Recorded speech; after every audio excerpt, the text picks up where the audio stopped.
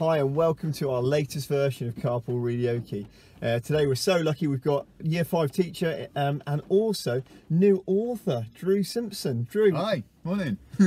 Drew, you've got your new book here. My new book, Bubble Bursters of Bathville. Um, so if you would like, I'd love to give you a little flavour. Oh, fantastic. Let's, let's hear, hear you. Excellent. I'll try and get the pictures in.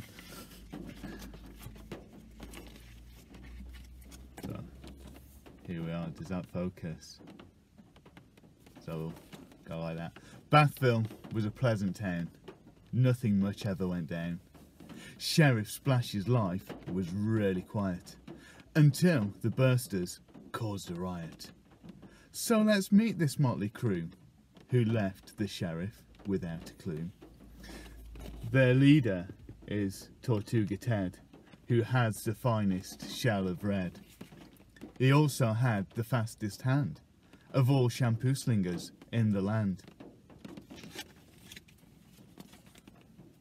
Wendy Wangba is Ted's right hand and the scariest female in the land. Intelligent, speedy, deadly too, with a shiny shell of brightest blue. Kevin Kame's a fearsome fellow, cunning, crafty, shell bright yellow. His brain works at lightning speed to formulate the plans they need. Last but not least, Scotty Skillpad. With a fiery temper, he gets really mad.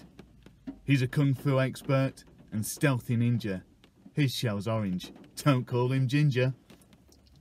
Roger Ribbit, the town's only frog, when they snuck up on him at his log, became the victim of the Four's first crime, and they buried him in Plughole Grime.